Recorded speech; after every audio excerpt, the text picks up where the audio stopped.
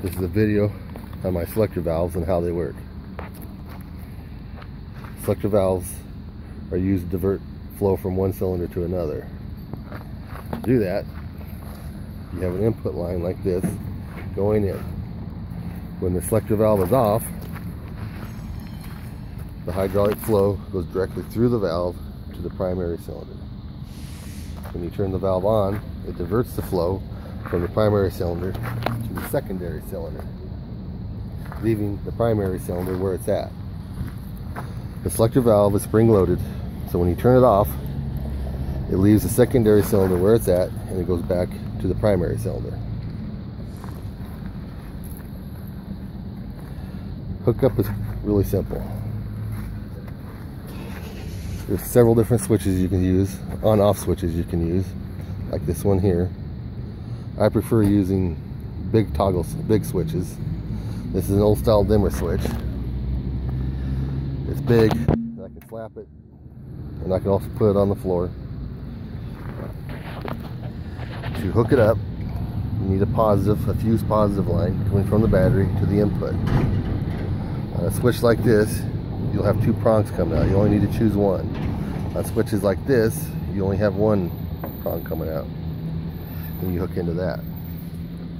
Then you run the positive powered line to the selector valve.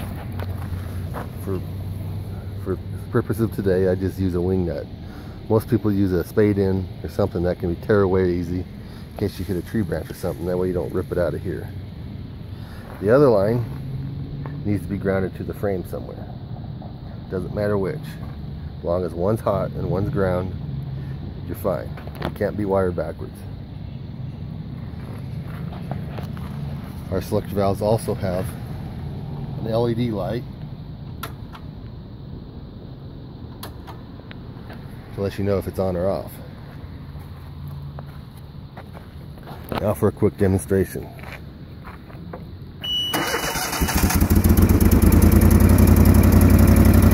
Right now, the selector valve is off. I move the hydraulics. It moves the primary cylinder. Activate the selector valve. It moves the secondary cylinder, leaving the primary cylinder where it's at. Stop right there. Deactivate the valve. And I'm back to moving the primary cylinder.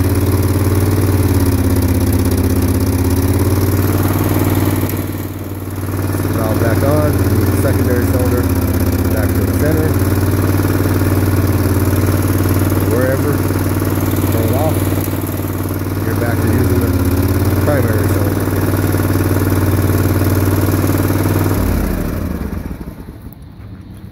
Very simple setup.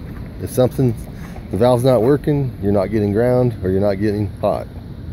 I recommend a fuse because if you accidentally rub the insulation off, you can superheat your line and catch things like this on fire, burn your machine down.